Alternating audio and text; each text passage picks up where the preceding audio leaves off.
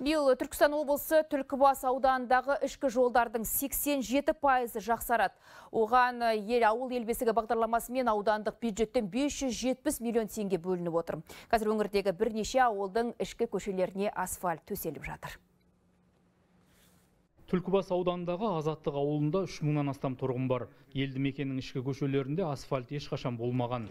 Сондықтан тұрғындар көктемде батпақ, жазда шаң болып жататынын айтады. Әсіресе мектепке жеткенше балаларымыздың балағы мен аяқ киімнен сау тамтық қалмайтын еді дейді. Бұл көшеде бұрын ешқандай асфальт болмаған еді. Тасты көше болатын, шаңы шығып жататын. Міне ә, салынып жатыр биыл асфальт. Жақсы болды. Балаларымыз мектепке жақсы көшеде баратын болды. Аяғымыз лайланбайтын болды.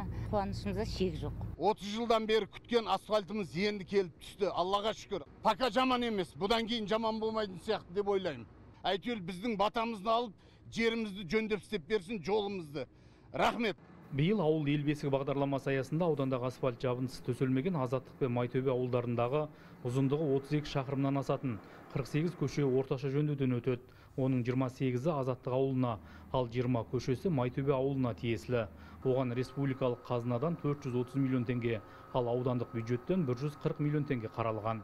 Жетіде сегіз шақырымды құрайды қазіргі өзіміздің бюджеттен. Мына ауыл ел бесігіндегі бағанағыда айтып өткендей жиырма үште төрт шақырымды құрайды. қыркүйек айының соңына дейін жұмысты толығымен тапсырсақ деп отырық бұдан бөлек қазіргі мынау алты елді мекенде көшелерге қаражаты қаралып қойған.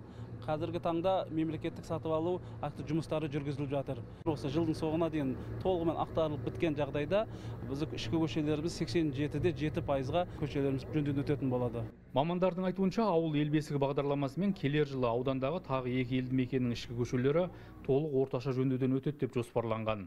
Биыл түркістан облысы бойынша жол жөндеу жұмыстарына 41 де 1 миллиард теңге бөлінген. Оған 1521 шақырым жол төселіп 587 нысан пайдалануға берілмек. Жандос жұмабек ерболат әбіш қуаныш әбуов хабар жиырма төрт түркістан облысы.